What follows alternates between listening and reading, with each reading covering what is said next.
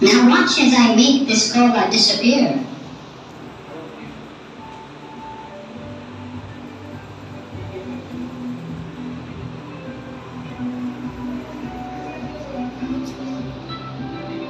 A solution.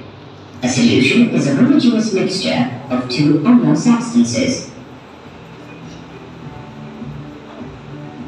The particles of the solution are smaller than 1 nanometer in diameter, Certain cannot be seen with the naked eye.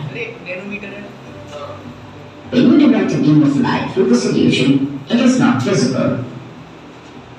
Since the particles in the solution are very small, they do not scatter beam of light passing through the solution. The solid particles cannot be separated from the mixture by filtration. Since the particles are very small, they pass through filter paper. When the solution is stable, it means that the solute particles do not settle down at the bottom of the container, even if you leave the solution undisturbed for a while.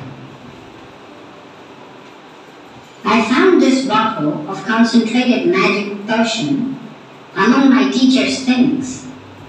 I'll have a few sips and turn into a powerful magician. It tastes terrible. I hope it works. Let me try making the flowers grow bigger. I think the potion was too dilute. Concentration is defined as the amount of solute present in the unit volume of a solution. A solution